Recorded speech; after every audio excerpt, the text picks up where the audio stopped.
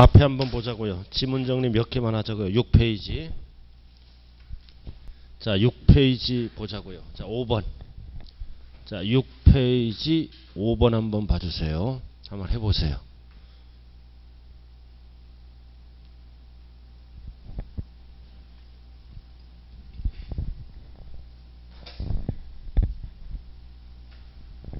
자, 5번은 오다 x다. x. 포함한다 그러면 안 되죠? 제외한다.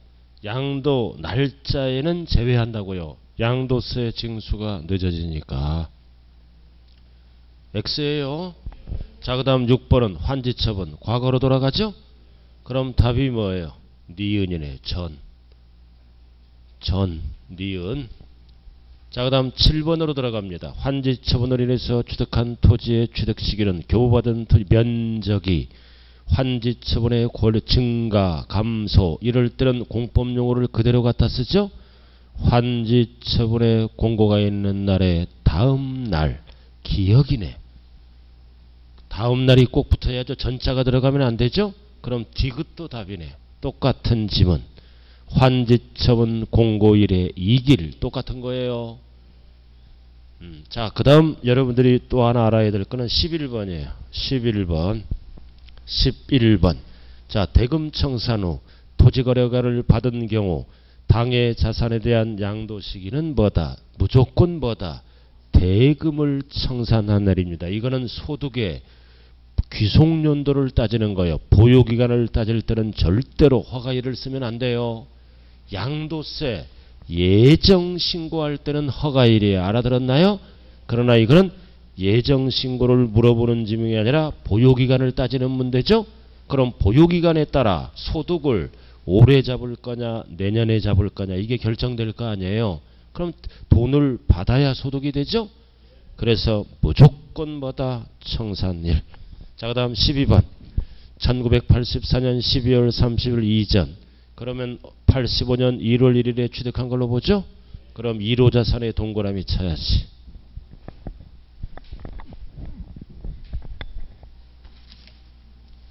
자, 뭐 빼고는 다 동그라미예요. 주식 빼고는. 예, 디귿 빼고는 다 동그라미예요. 1호 자산. 어, 주식 빼고. 자, 그 다음 넘어가죠. 비과세. 자, 인원이 없으니까 참 조용하고 좋긴 좋네요.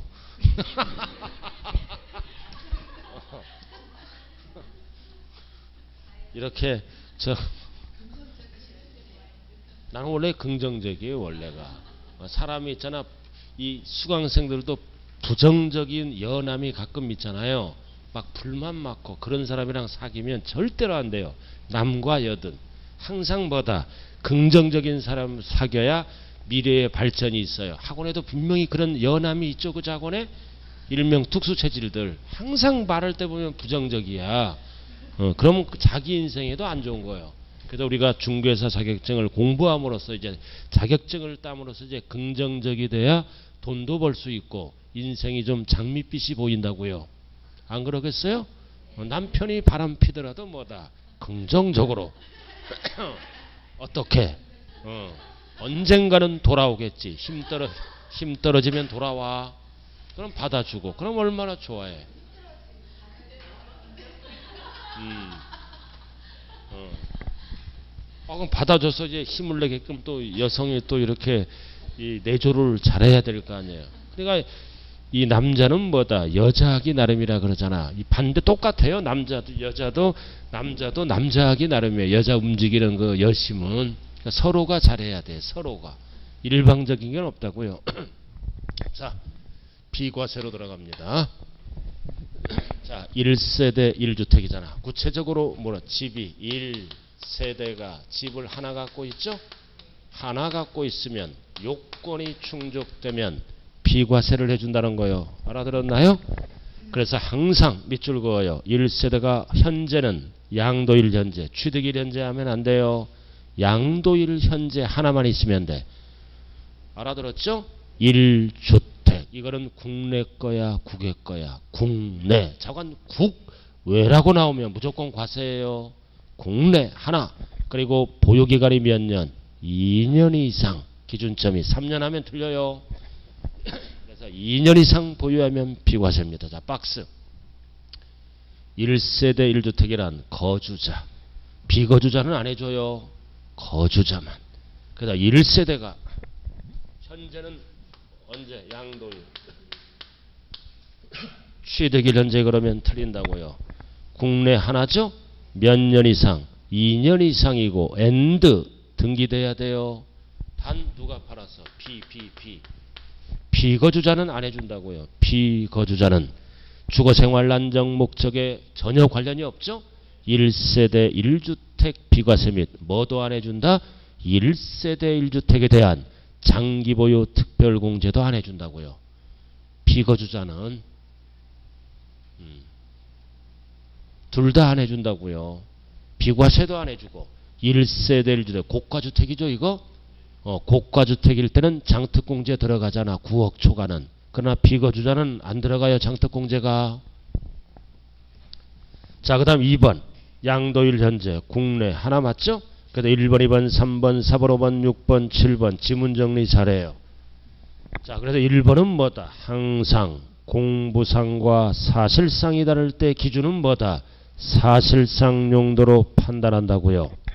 자 그 다음 2번 주택의 개념이죠 상시 주거용으로 사용하는 건물을 우리는 주택이라 그래. 그래도 별장이나 기숙사나 합숙소나 콘도는 주택으로 본다 안 본다 안 본다. 이런 거는 2년 보유하더라도 무조건 과세예요. 왜 별장도 주택이죠 원래 사치성이니까 어, 세금 혜택이 없어요. 자 그다음 3번. 자 3번은 한번 읽어봐요. 시작.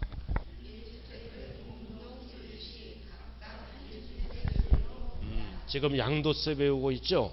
그럼 1주택을 공동 소유하면 무조건 몇 개로 본다? 각각 하나. 각각 그래야 주택수가 늘어나서 세금을 징수하겠죠? 각각 하나. 다만 공동은 공동인데 뭐를 받은 거야? 상속. 상속받으면 각각 하나 하면 안 돼요. 지분이 가장 큰 자주택으로 봅니다. 상속을 받으면 각각 하나 하면 졸지의 상속인들이 2주택이 돼버리잖아요. 그죠? 어, 지분이 가장 큰 자. 자, 그 다음 4번. 1주택 또는 부수 토지를 분할 양도했잖아. 땅을 팔았잖아, 이거. 땅을 팔 때는 1주택으로 본다, 보지 않는다. 보지 않는다. 집을 팔아야 돼요. 땅 팔 때는 주택이 아니잖아. 보지 않는다는 얘기는 과세한다는 얘기입니다. 분할량도잖아 분할량도. 그럼 분할량도는 여러 개로 본다고요. 알아들었나요? 어, 분할량도는 여러 개로 보니까 과세합니다. 자 그 다음 5번. 두 개 이상의 주택을 밑줄 그어 같은 날에 양도했네. 집이 두 개네. 같은 날에 양도할 때는 하나는 비과세를 해줘요. 그럼 비과세는 어떻게 합니까? 밑줄 그어 거주자가 선택하는 순서. 어, 선택해서 하나를 비과세 주겠다는 뜻입니다. 거주자가 선택할 수 있어요. 자, 그 다음 6번. 6번은 알아야죠. 부부가 각각 단독 세대를 구성했죠? 지금 별거 중에 알아들었나요? 또는 같이 살더라도 각각 단독 세대. 그럼 부부는 각각 세대다, 동일한 세대다. 동일한 세대야. 그래도 부부는 일심동체예요. 알아들었나요? 그러나 가족은 흩어지면 다른 세대야. 그러나 부부는 흩어지더라도 이혼하지 않는 이상, 죽지 않는 이상 동일한 세대로 본다고요. 가장 사랑하는, 가장 믿을 수 있는 사람은 뭐밖에 없어? 부부밖에. 알아들었나요? 어, 부부밖에 없는 거야. 대한민국은 자식도 못 믿어요. 어, 부부 앞에 잘해야 돼요. 서로가. 어, 나는 부인 안 믿어. 강연 이렇게 하더라도. 어, 그냥 편하게 살아가는 거예요. 가정을 지키면서 그죠? 자, 그다음 7번. 자, 7번 한번 읽어 봐요. 시작.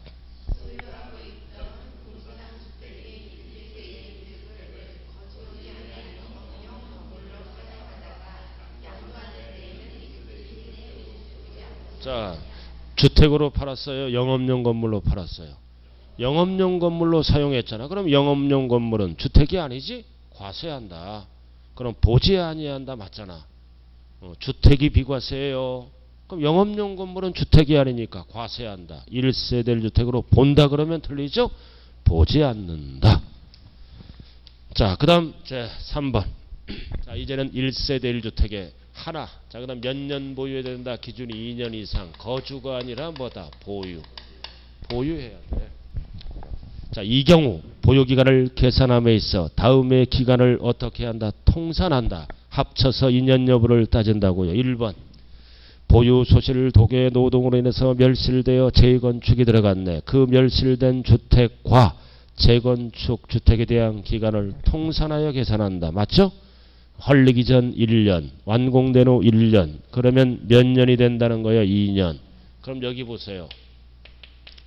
공사 기간은 통산할까요? 안 할까요? 합산. 공사 기간은 공사 기간이 없잖아, 여기. 공사 기간도 보유 기간을 따질 때 합산할까요? 안 할까요? 개인 사유는 안 해. 그러나 법에 의해서 할 때는 합니다. 우리 집이 멸실시키고 재건축이 들어가죠? 그럼 개인은 통산 안 해요. 법에 의해서 하는 거는 한다고. 이 법이 어떤 법이에요? 정비법. 정비법에서 재건축이 들어가죠? 그럼 공사기간을 포함해요. 법은 알아들었나요? 아무런 말이 없을 때는 공사기간을 통산한다 그러면 틀린다고요. 이거 1번은 개인사유야. 그러나 도시 및 주거환경 정비법에 의할 때는 통산한다고요. 왜 개인은 통산하지 않아? 지금 6월달 되면 이제 장마가 오죠? 집을 짓다가 삽을 한번 딱 찌르고 장마가 딱 오니까 2개월 만에 삽질 한번 하고 그럼 공사기간이 막 늘어나잖아. 그래 악용하니까 안 된다고요. 삽 한번 찌르고 그 다음 5년, 5년 후에도 찌르고 그럼 5년 되잖아. 그러나 정비법은 웬만하면 공사를 진행하죠. 꼼수 못 부리니까. 자, 그 다음 자 니은 비거주자네. 비거주자가 뭐다? 3년이 비거주자는 3년 이상이야. 계속 보유하고 뭘로 전환됐어? 거주자로. 이럴 때는 2년 이상이 아니라 비거주자가 거주자로 전환됐지?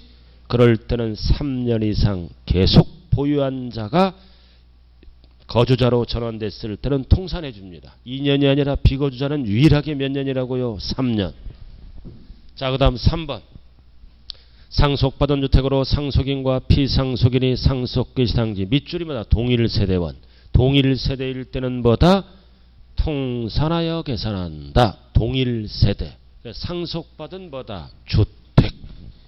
그럼 어머니가 1년 보유. 딸이 2년 보유. 그럼 3년이 된다는 거죠? 동일 세대. 같이 살아야 돼요.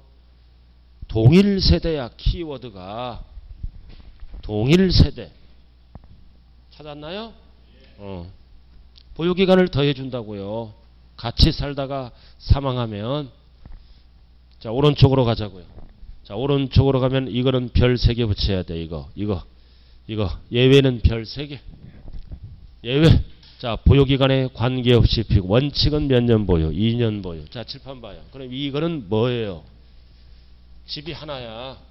집이 하나라고 원래는 몇 년 보유해야 돼? 2년 보유. 이거 안 따진다. 다른 요건이 충족되면 비과세를 해준다. 2년 보유하면 당연히 비과세죠? 2년 보유를 안 따지겠다. 자 그럼 1번 건설 임대주택이네. 건설 임대주택을 분양받았잖아. 임대주택을 분양받았을 때는 몇 년? 5년 이상 거주, 보유가 들어가면 안 돼요. 그럼 5년 이상 거주는 언제부터 따져? 임차일부터. 무슨 임대일이야. 건설회사가 임대일이지. 어, 개인은 임차일이요. 절대로 이 지문은 취득일부터 따지면 안 돼요. 이거는 월세 내는 거잖아 임대 아파트. 그럼 임대 아파트를 뭐다? 분양받고 팔았다. 2년 보유 안 따진다. 뭐만 따진다? 5년 이상 거주. 반드시 들어가 살다가 분양받아야 돼요. 자, 그 다음 2번은 1주택이 수용당했잖아. 2년 보유 안 따져. 뭐만 따져? 과로. 투기 방지를 위해서 거라. 사업인정 고시일 전. 전에 취득해야 된다고. 숫자가 들어가면 안 돼. 전. 사업인정 고시를 전에 취득하면 2년 보유 안 따져. 그럼 이제 일부 수용되고 일부가 남아있지? 무슨 주택이라 그래? 잔존주택과 부속토지는 몇 년 이내에 팔면 비과세야? 5년. 5년에 밑줄 그어요. 5년. 3년 하면 안 돼요. 기준점이. 이거는 팔기 힘들잖아. 그러니까 3년을 주는 게 아니라 몇 년 준다? 5년. 자, 그 다음 3번, 4번은 묶어. 3번, 4번은 3번, 4번은 묶어. 같은 의미예요. 거주자가 뭘로 된 거야? 비거주자로 전환된 겁니다. 해외 이주 갔잖아. 그럼 거주자였지? 이민 가면 비거주자나 비거주자. 그럼 어떻게 가야 돼? 세대 전원. 일부가 가면 안 돼요. 출국하면은 비과세 준다 이거지. 단 팔아먹을 때는 언제까지 팔아야 돼? 출국일 현재 하나 있어야 돼. 하나. 절대 양도일 현재 그러면 안 돼요. 출국이니까 출국일 현재 하나야. 그럼 2년 보유를 안 하더라도 파는 기간은 몇 년 준다? 2년. 우리가 우리 같은 경우는 파는 기간을 3년 주죠?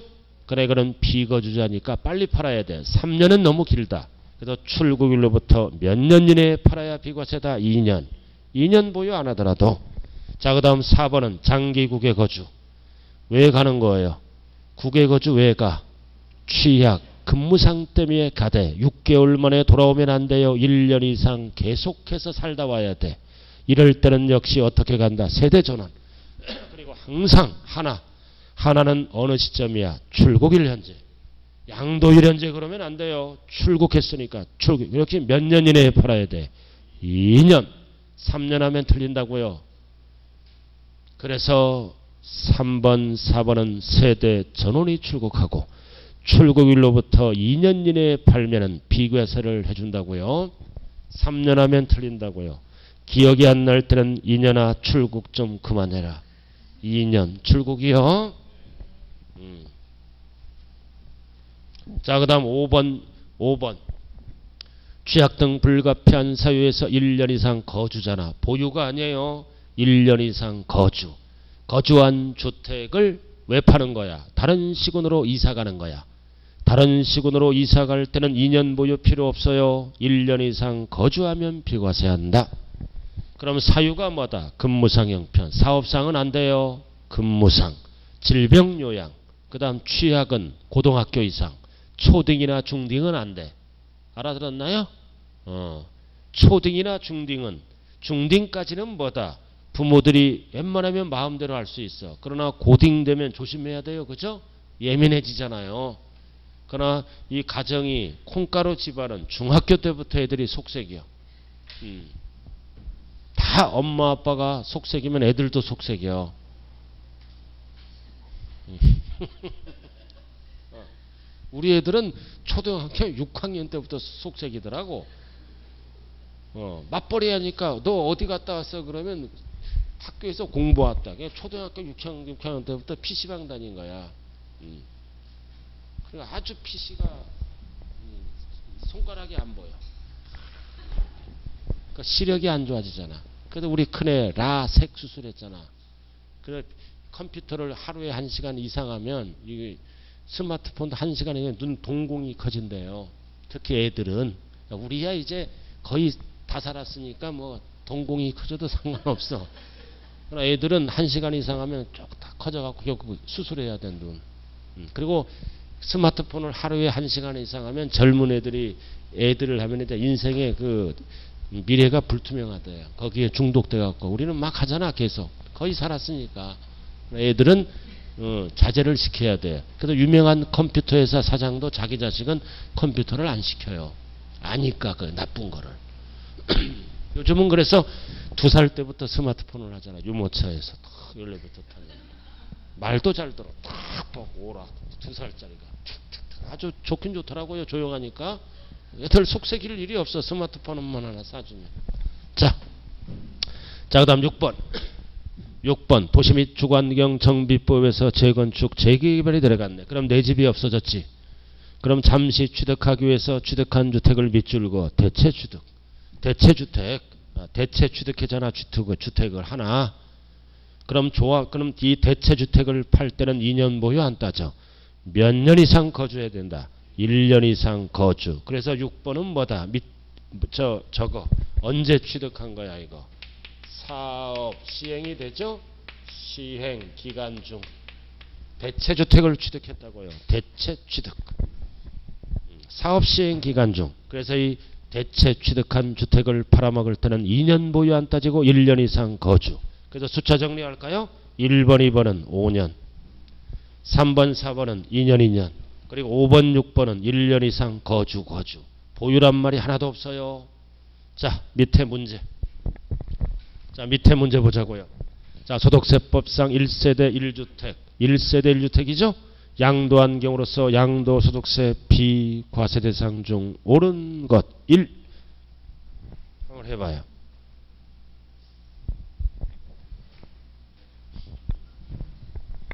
오여 X예요. 오잖아. 1번에 5예요. 아, 3년 보유하니까 이거는 사례 문제잖아. 원칙이 몇 년 이상 보유해요. 어, 2년이 이게 이거는 뭐다? 기준점이 2년 이상 보유야. 그럼 3년 보유했지? 3년 보유했으니까 이 기준점 범위에 들어가잖아. 그러니까 비과세지. 거주는 필요 없고. 알아들었슈? 그러나 3년 이상 보유하면 틀린 거야. 알아들었어요? 3년 보유하고 사례 문제라고요. 그리고 거주는 뭐 1년 거주하든 100년 거주하든 거주 기간은 폐지됐잖아. 5. 자, 그다음 2번 한번 해 봐요.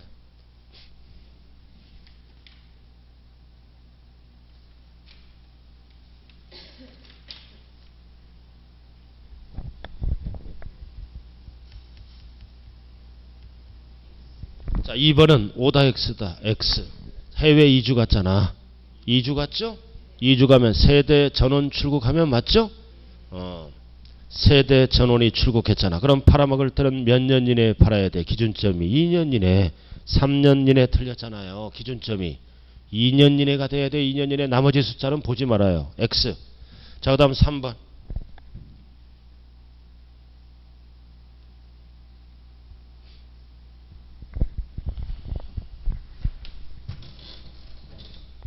자, 3번은 5의 X예요. X, X. 자, 대전광역시죠? 자, 키워드가 뭐다? 사업상 형편으로 다른 시로 이사 갔잖아. 다른 시로 이사 갈 때는 사업상 형편은 2년 보유해야 돼요. 사업상을 뭘로 고쳐야 돼? 근무상으로. 그리고 또 하나, 6개월 동안 거주했잖아. 과세하잖아. 6개월 동안이 아니라 1년 동안. 1년 동안 거주해야죠. X예요. 다른 시로 이사 갈 때는 뭐다? 1년 이상 거주 그리고 and 취학 근무상 질병 치료 사업상은 2년 보유해야 된다고요. X죠? 자, 그 다음 4번으로 들어갑니다.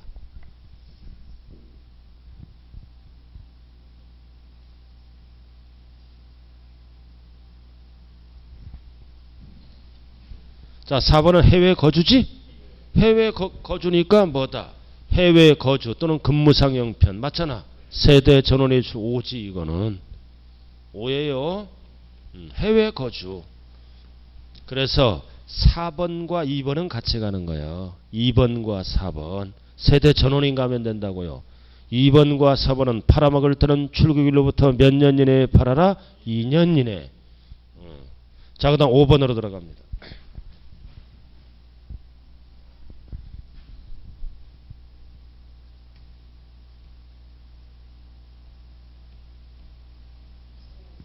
오의 X예요. X지. 자, 거주기간이 7년은 범위죠. 거주기간이 기준점은 5년 이상이잖아. 그럼 7년은 5년 이상 범위에 들어가지? 그럼 5년 이상은 언제부터 따져? 취득일에서부터 양도일까지 틀렸잖아. 임차일부터. 월세 내는 거니까. 7년은 맞는 거요. 왜 틀렸어 이거? 취득일을 고쳐야 돼. 임차일부터. 그래서 X가 되는 거예요. 조심해야 돼요. 7년은 맞는 거죠. 범위를 물어보니까 거주기간. 자, 그 다음 6번.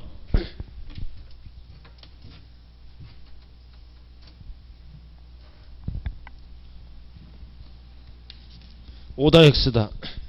오잖아 이거는. 자, 잔존주택이 남아있을 때는 몇 년 이내에 팔아야 된다? 기준점이 5년. 잔존주택 부속토지 5예요. 자, 그 다음 7번으로 들어가요.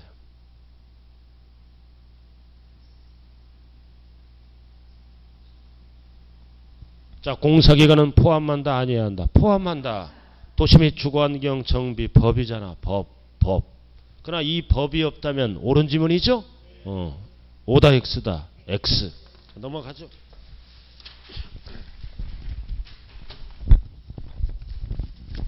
자, 이제는 집이 하나인데, 집이 하나인데, 하나는 무슨 주택? 상가주택, 겸용주택. 집이 하나인데, 고가주택.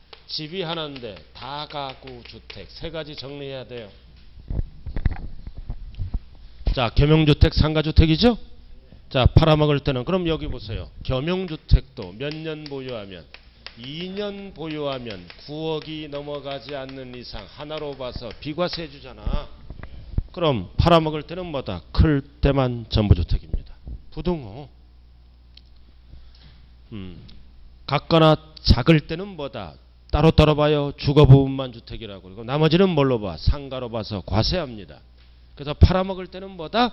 클 때만. 왜 같을 때는 전부 주택이 아니에요? 같을 때는 밑으로 내려서 따로따로 본다고요. 주거 부분만 주택으로 오고 나머지는 뭘로 봐? 상가로 봐서 상가는 과세하죠? 클 때만. 자, 그 다음 고가주택이네.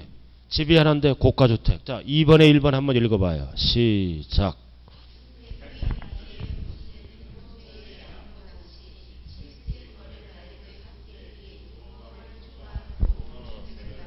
자, 기준이 뭐다? 9억 초과 실지거래가요. 옆에 적어. 그러나 임대업을 물어볼 때 임대업에서는 절대 실지거래가액을 안 쓰죠?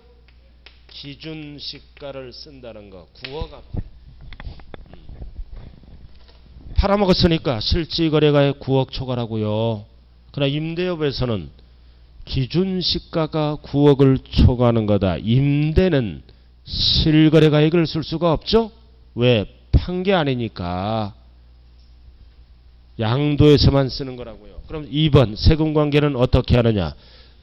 실거래가액 9억을 초과하는 부분에 대해서만 어떻게 한다? 과세. 과세. 그럼 9억까지는 뭐다? 비과세. 그럼 이제 3번 공식이 나왔잖아. 그럼 9억 초과는 비율만큼 공제가 들어가죠? 전체 양도 차이 곱하기 양도가액분의 양도가액 마이너스 9억을 빼면 뭐가 나와? 9억 초과가 나와서 과세가 들어간다는 지문이라고요. 그리고 장특공제도 전체에서 항상보다 고가주택은 양도가액분의 양도가액 마이너스 9억을 빼야 초과가 나오지? 그 얘기라고요. 그래서 양도차익도 9억 초과에 대해서만 비과세를 아저 과세가 들어간다고요. 그리고 3번도 장특공제도 9억 초과에 대해서만 공제가 들어간다고요. 무슨 주택일 때? 고가주택. 자, 그 다음 3번은 다가구. 자, 다가구는 팔아먹을 때 법 규정이 두 가지가 있어요. 1번, 가구별로 각각 양도에 비출고, 각각 양도. 가구별로 각각 양도할 때는 뭐다? 각각 하나로 봐요. 단독이다, 공동이다, 공동. 공동으로 본다. 근데 2번, 가구별로 분양하지 아니하고 다가구 주택을 하나에 밑줄고 하나로 통매했다고요. 그럼 몇 개로 봐? 하나로 봐. 즉 단독으로 봐. 그럼 2년 보유했다면 1번을 비과세 할까요? 2번을 비과세 할까요? 2번. 그래서 하나로 출발할 때는 단독, 가구별로 각각 양도할 때는 단독 주택으로 본다 그러면 안 돼요. 각각 하나. 자, 밑에 핵심 지문. 자, 1번 한번 해봐요.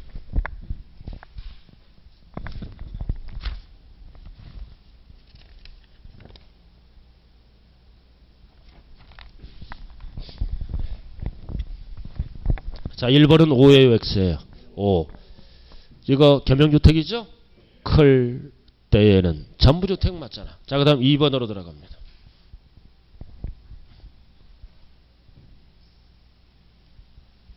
자, 9억 초과지? OX, X. 비과세가 아니라 과세된다. 빗자가 들어가면 조심해야 돼. X. 자, 그 다음 3번.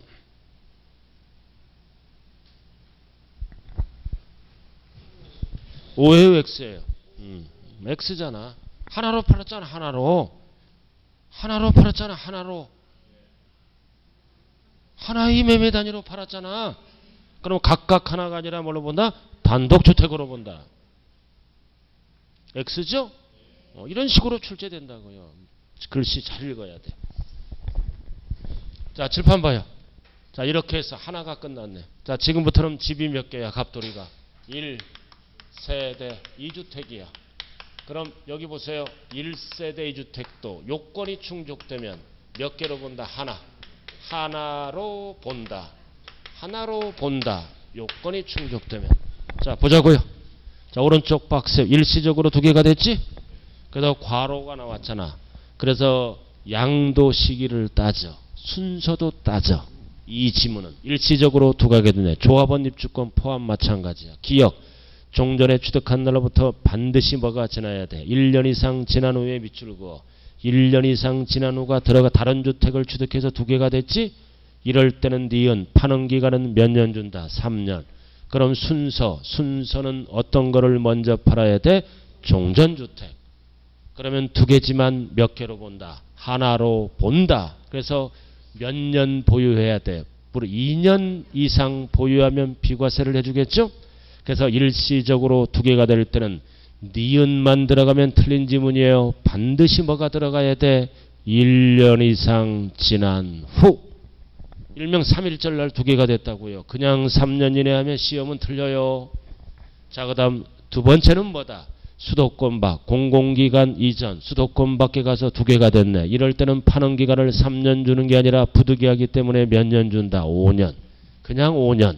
항상 순서는 뭐다? 종전주택. 그래서 두 개지만 몇 개로 본다? 하나. 그럼 양도 시기는 3년이 아니라 몇 년이라고요? 5년. 순서는 뭐라고요? 종전 거를 팔아야 돼요. 자, 그 다음 세 번째 칸.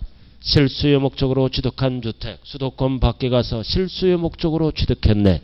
왜 지방으로 갔나요? 취약, 근무상 질병 때문에 지방 가서 하나를 취득해서 두 개가 됐지? 그럼 일반 주택과 수도권 밖에 주택이 있으면 역시 몇 년 이내에 팔아야 돼? 3년.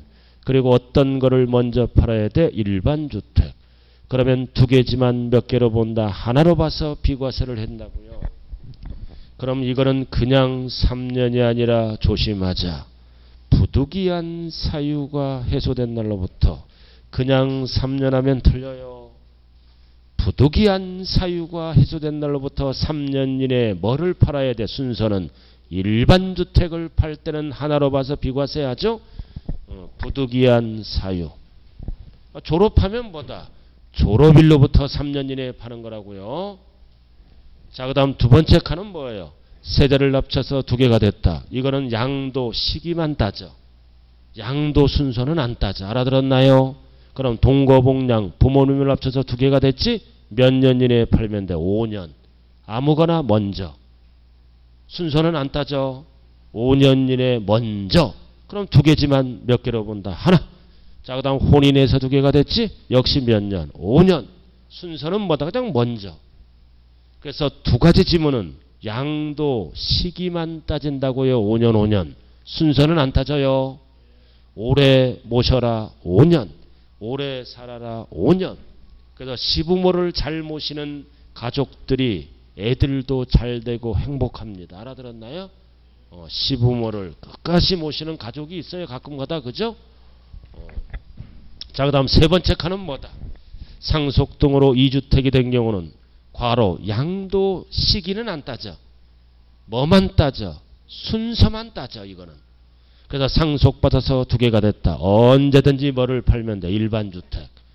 몇 년이 안 들어 안 들어갔잖아. 자 그 다음 문화재 주택 언제든지 일반 주택 팔면 돼요. 농어촌 주택 언제든지 뭘 팔 일반 주택. 그 다음 장기 임대 주택 나왔지? 거주 주택을 먼저 팔 때는 하나로 봅니다. 그래서 이거는 양도 시기 몇 년이 없어. 순서만 따지는 거예요. 그리고 마지막은 조심해야 돼. 여기 봐요. 장기 임대주택, 임대사업자가 파는 거죠? 그럼 뭐를 언제든지 거주주택. 근데 이거는 2년 보유가 아니라 유일하게 2년 이상 거주해야 비과세해야 돼요. 보유할 때 그러면 틀린 지문이에요. 2년 거주는 없어졌잖아요. 임대사업자가 파는 거주주택은 반드시 뭐다? 2년 이상 거주할 것, 보유할 것 그러면 틀린 지문이라고요. 나머지는 다 물어볼 때는 뭐다? 2년 보유한다. 알아들었나요? 그러나 마지막은 2년 보유한다 그러면 틀려요. 2년 이상 거주. 그래야 비과세를 해줍니다. 그래서 세 가지를 정리 잘하라고요. 자, 그 다음 밑에는 이제 농어촌 주택이네. 자, 칠판 보세요. 밑에는 뭐다? 자, 일반 주택을 하나 갖고 있어. 그 다음 이제 뭐를 갖고 있다? 시골에, 읍면에 농어촌 주택을 갖고 해서 집이 두 개잖아. 여기 봐요. 그럼 농어촌 주택이 생기는 사유는 뭐야? 시골에 계신 부모님이 돌아가셔. 또는 시골이 싫어 이농, 시골이 좋아 귀농. 그래서 농어촌 주택을 갖고 있는 거죠? 그럼 뭐 항상 뭐를 먼저 팔아야 돼? 이해를 먼저 팔면은 몇 개로 본다? 하나. 근데 요건이 충족돼야 돼. 요건이 충족돼야 돼요. 그래서 보면 농어촌 주택은 시골에 수도권 읍면, 읍면.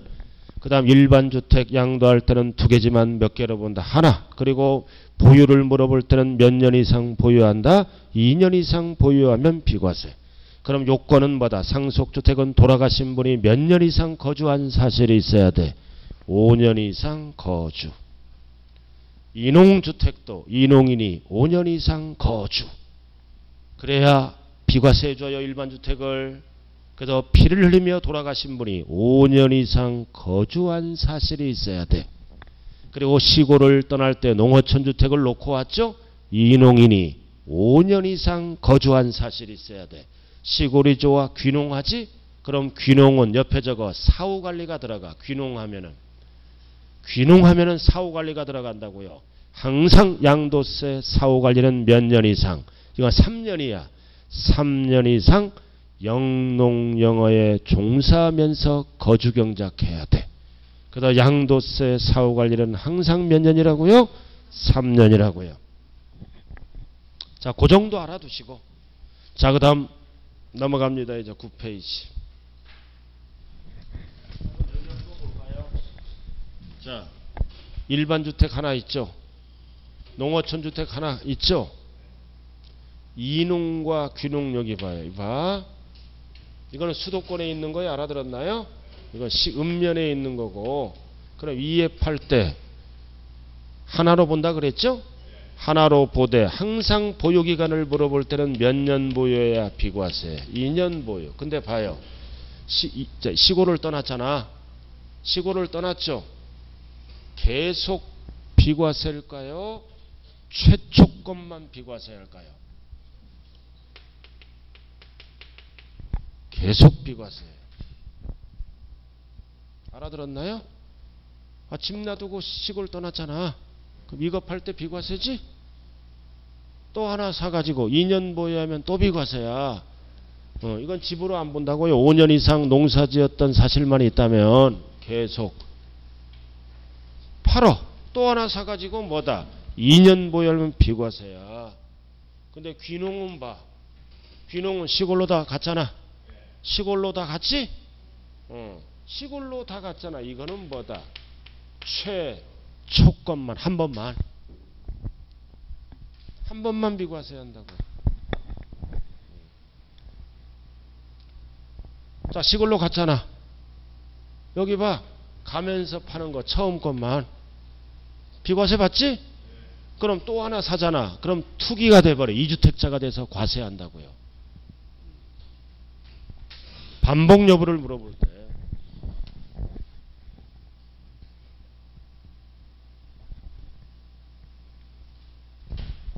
자, 그 다음 페이지 바뀌었어요? 자, 페이지 위에 보자고요. 위에 네모. 네모가 뭐가 있어요? 재개발 재건축 조합원이 입주자로 선정된 이거를 우리는 뭐라 그래요? 여섯 글자로 조합원 입주권. 조합원 입주권이라고요. 딱지. 여섯 글자로 뭐라 그래요? 조합원 입주권을 양도했다. 자, 칠판 한번 볼까요?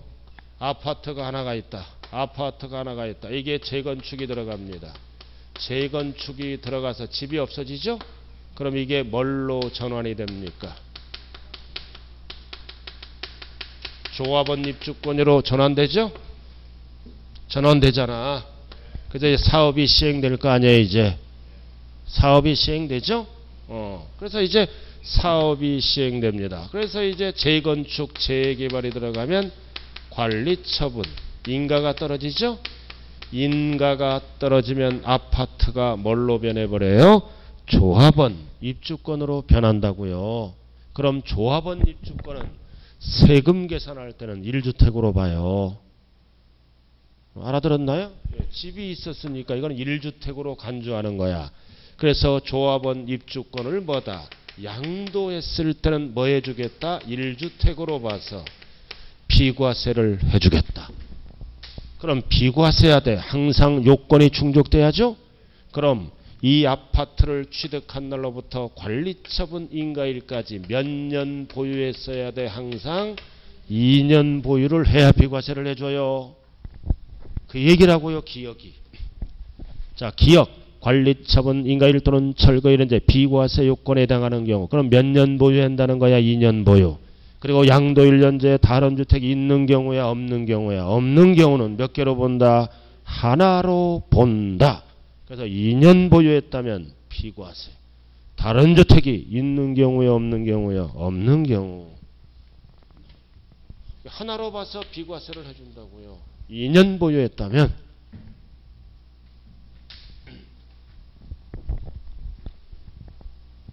자 그 다음 칠판 봐요 칠판 보라고요 이거는 집이 조합원 입주권으로 변했죠?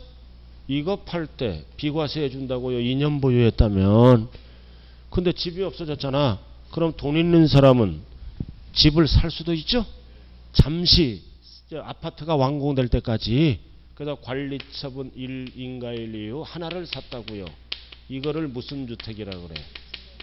대체 주택을 하나 산 거야. 그럼 주택수가 두 개가 됐지. 이럴 수도 있잖아. 집 샀잖아.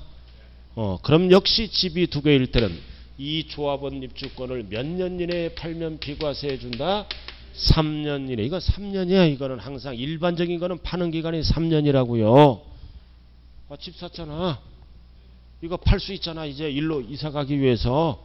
그럼 파는 기간은 몇 년 이내에 팔면 3년 이내에 조합원 입주권을 팔면은 두 개지만 몇 개로 봐. 하나. 그래서 항상 파는 기간은 특이한 걸 빼고는 3년 주는 거야.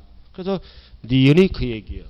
니은 또는 양도 이런 제 1조합원 입주권 외에 1주택을 취득해서 소유하지? 그럼 집이 두 개잖아. 그럼 1주택을 취득한 날로부터 몇 년 이내? 3년이야. 아무런 말이 없으면 3년 이내에 뭐를 팔어? 조합원 입주권을 팔 때는 하나로 본다. 자, 칠판 다시 한번 봐요. 원칙은 조합원 입주권은 다른 주택이 없어야 돼요. 그럼 2년 보유하면 비과세인다. 다른 주택이 있을 때는 집이 두 개지? 두 개니까 몇 년 이내에 팔면 된다? 3년 이내에 조합원 입주권을 팔면 하나로 본다고요. 자, 그 정도 알아두시고 자, 그 다음 밑에 문제 들어갑니다. 자, 1번 동그라미 1번 자, 동그라미 1번 OX로만 답하는 거예요.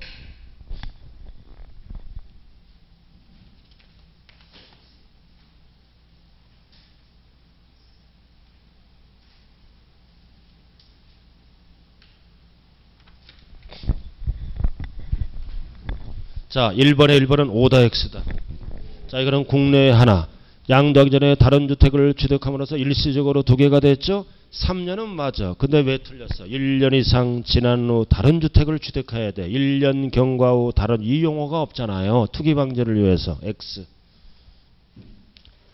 아, 집이 두 개가 될 때는 뭐다? 1년 이상 지난 후 다른 주택을 취득하고 3년 이내에 종전거를 팔 때는 두 개지만 몇 개로 본다? 하나. 뭐가 없어요, 용어가. 1년 이상 지난 후 다른 주택을 취득하고 이게 없잖아요. X에요, X.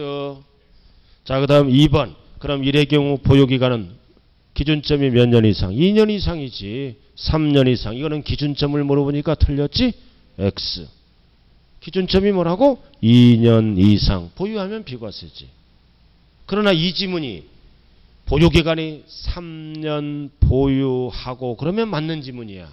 사례를 물어보는지 기준점을 물어보는지 3년 이상은 이거는 기준점이지 그럼 기준점은 2년 이상이야. X. 자, 그 다음 3번 풀어봐요.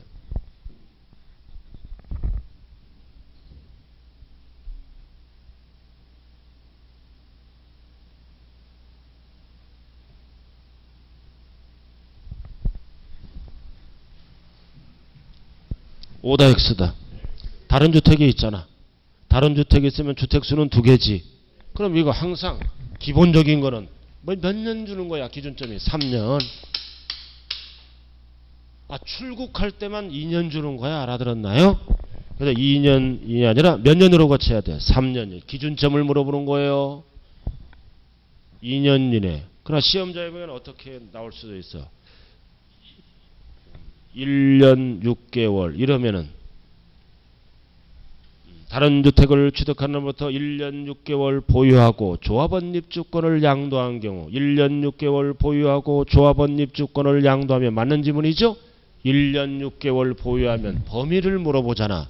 3년 이내에 들어가죠? 그러면 맞는 지문이야.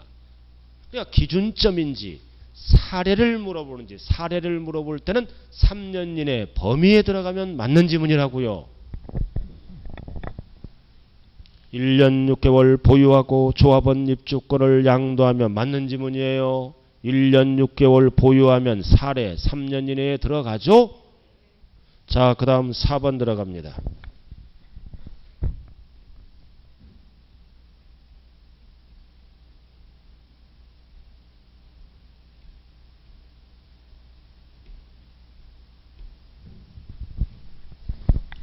자, 4번은 5의 X예요.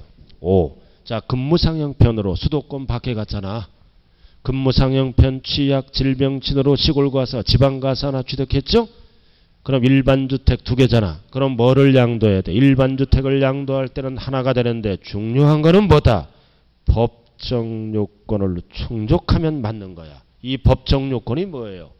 길게 부득이한 사유가 해소된 날로부터 3년 이내 이거를 줄여서 뭐라 그래요? 법정 요건. 부득이한 사유가 해소된 날로부터 3년 이내에 팔아야지 이거를 줄여서 뭐라 그래요? 법정 요건. 그럼 맞는 거예요. 잠깐 법정 요건이 들어가면 됐슈? 5. 자, 그 다음 5번, 5번 풀어요.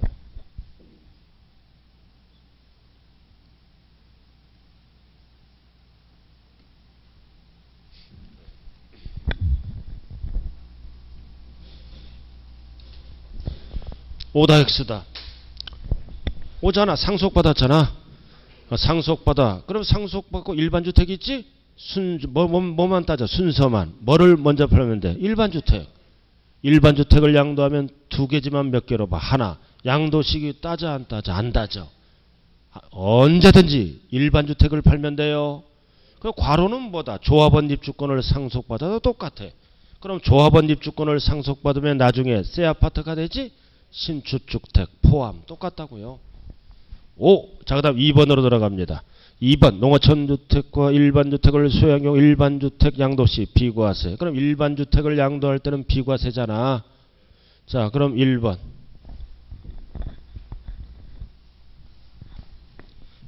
1번 오다 X다. 일반 주택을 양도하면 하나로 보잖아요. 5. 자, 그 다음 2번으로 들어갑니다. 몇 년 이상 거주한 사실이 있어야 돼. 5년이야. 3년 하면 안 돼. 기준점이잖아. 5년 이상. 기억이 안 날 때는 오 피난다. 죽어야지 상속이야. 이거 아까 5년 이상 거주 어, 시골에 계신 부모님이 오 피난다. 돌아가셨어요. 기준점. 자, 그다음 해봐요.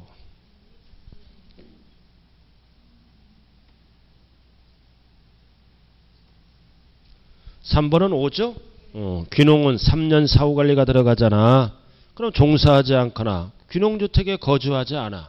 아이고 허리 아파라 나는 모텔에서 자고 남, 남편은 뭐야 산에 나무하러 가고 안 된다 이거지. 보지 않는다. 과세해 버려요. 자 그 다음 4번 3의 경우 3년 기간을 계산할 때 이 기간 중에 뭐가 일어나서 상속. 그래서 여자가 배추 뽑다가 뱀 물려서 죽어버렸다고. 알아들었나요? 그럼 보유기간을 어떻게 합니까? 당연히 더해줘야죠. 통산한다. 부득이하니까. 5다 X다. 5. 자, 그 다음 5번으로 들어갑니다.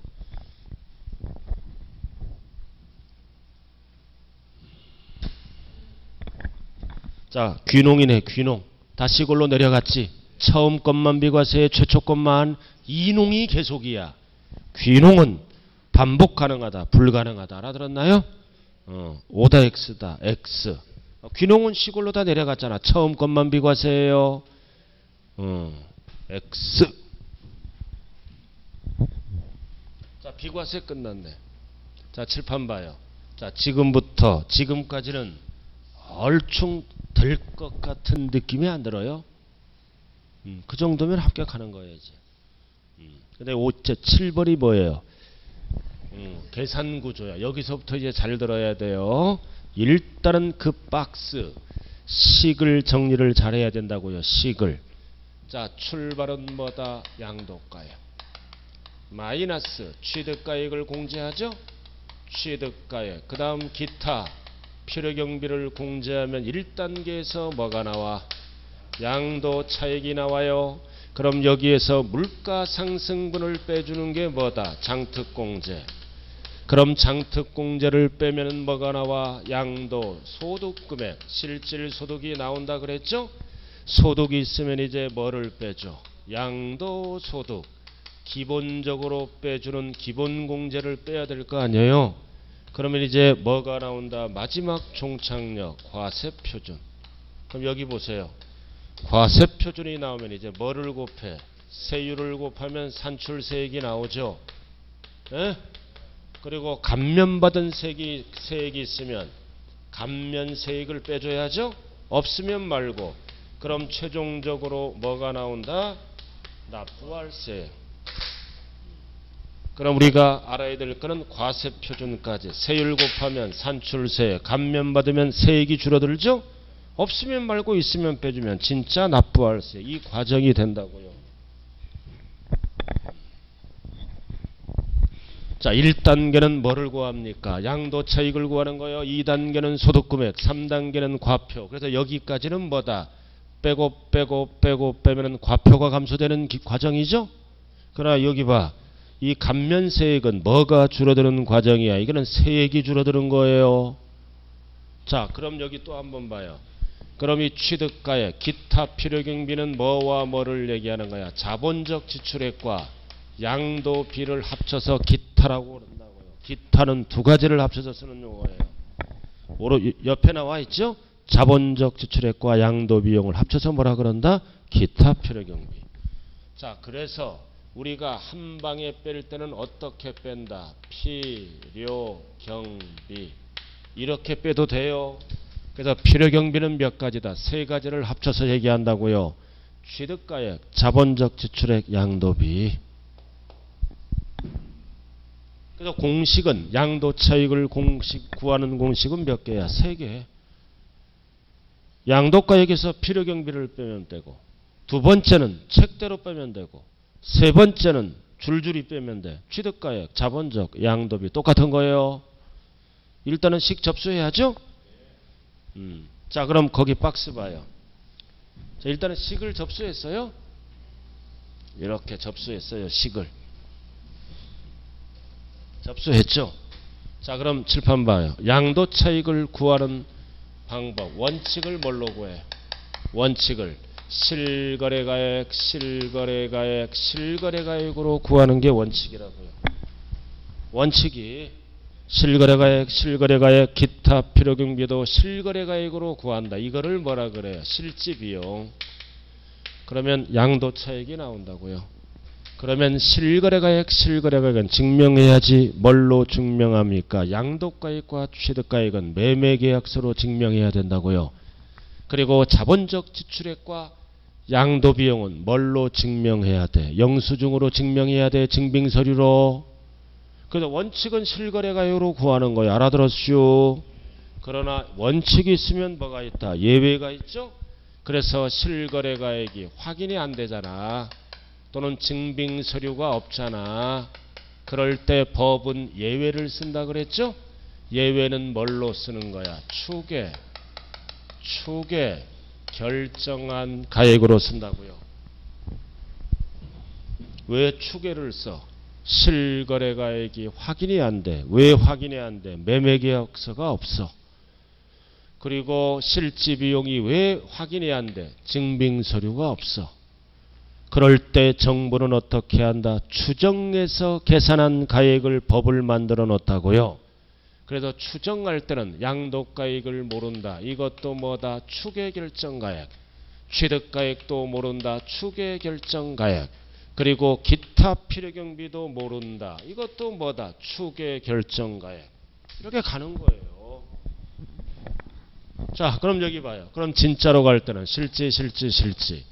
추계로 갈 때는 추계, 추계, 추계로 가는 거예요. 그럼 여기서 주의하자. 이 추계는 두 가지는 어떻게 합니까? 기타 필요 경비 두 가지죠? 필요 경비는 대충 계산해야 되겠죠? 추정해서 계산한다. 그래서 공식이 어떻게 된다? 취득 당시 기준 시가에다가 법에서 정한 뭐를 곱하면 된다. 공제율. 그러면 추정가액이 나오는 거야. 기타 필요 경비. 책에 나와 있잖아요. 어, 기타 필요 경비는 어떻게 한다? 대충 계산 공제. 계산 공제 식을 적어 이렇게. 계산 공제 대충 계산해서 공제한다고요. 추계해서 식 적어요. 취득 당시 기준시가 곱하기. 여기 괄호 빈 공간 나와 있죠? 곱하기 뭐를 곱해? 공제율. 취득 당시 기준시가 곱하기 공제율을 적으라고요. 필요경비 계산공제 시익 음. 적었어요? 이 공제율은 몇 프로예요? 부동산은 몇 프로? 3%. 부동산은 3% 공제 받잖아. 우리가 진짜로 갈 때는 취득세 4% 공제 받지? 이거는 짜가로 가니까 부동산은 몇 프로 공제? 3%. 시험은 부동산밖에 안 나와. 3% 공, 이게, 이게 1억이야. 그럼 몇 프로? 등기된 거는 3%. 그럼 대충 얼마 공제하는 거야? 300만. 아, 공, 식 공식, 공식 이거 계산 공제하는 공식.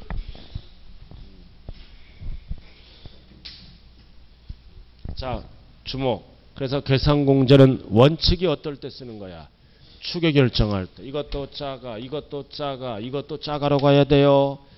자가를 구할 때는 계산공제한다고요. 대충. 그럼 계산공제는 어떻게 하냐. 이 공식대로 간다고요. 그럼 진짜로 갈 때는 취득세 4% 공제 받지? 그럼 이건 짜가로 가니까 뭐다. 한 단계 낮은 3% 공제하는 거예요. 뭐에? 취득 당시 기준시가에. 그래서 이 계산공제는 어떨 때만 쓰는 방법이다? 추계 결정할 때. 맑게 알아들었죠? 그럼 칠판 주먹. 그래서 양도가액을 모른다. 시험장에 가니까. 취득가액을 모른다. 순서가 달라요. 밑에 박스. 밑에 박스 나와 있나요? 밑에 박스. 자, 양도가액을 몰랐을 때는 추계, 결정, 경정 순서는 뭐다? 매감기. 매감기로 가는 거예요. 그리고 취득가액을 모른다 순서는 매매사례가액, 감정가액, 환산 취득가액 기준시가. 환산 취득가액에 동그라미 쳐. 줄여서 환산가액이에요. 그럼 환산가액은 뭐를 몰랐을 때만 쓰는 거다. 취득가액. 양도가액은 양도가액은 환산할 수가 없어요. 최근 거니까. 그다 양도가액을 몰랐다. 매감기로 끝나요. 취득가액을 몰랐을 때는 순서가 뭐라? 매감 환기 이렇게.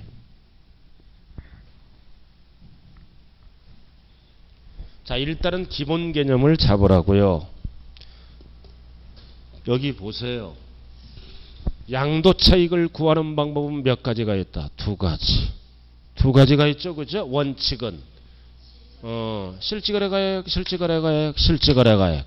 이거는 계약서를 제출해야 돼요. 매매 계약서. 이거는 증빙서류를 제출해야 돼요. 진짜로 가는 거잖아. 그럼 이해가 확인이 안 되거나 증빙 서류가 없을 때 정부는 추정해서 계산한다고요.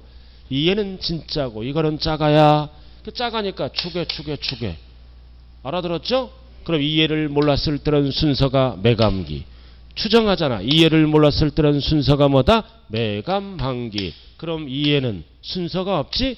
이해는 법에서 만든 공식대로 가는 거야. 이 공식. 이 공식으로 간다고요. 취득 당시 기준식과 곱하기 뭐다? 공제율이란 식을 통해서 이거를 구하는 거예요. 그러면 양도 차익이 나온다. 그럼 양도 차익을 구하는 방법은 몇 가지고 두 가지입니다. 이거 칠판 지우지 마세요. 예, 지우지 말아요. 자, 잠시 쉬었다 하죠.